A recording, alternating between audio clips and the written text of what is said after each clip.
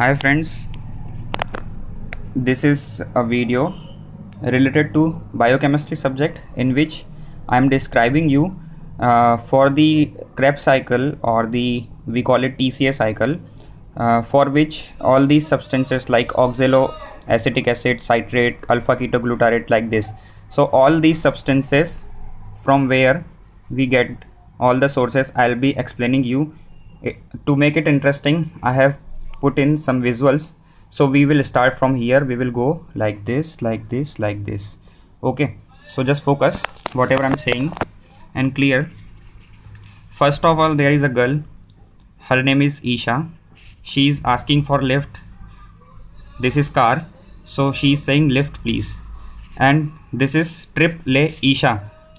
We are saying her triple isha. That means tryptophan leucine and isoleucine tryptophan, leucine and isoleucine. So this is triple a isha that will derive acetyl-CoA. Now we move on to acetoacetyl-CoA.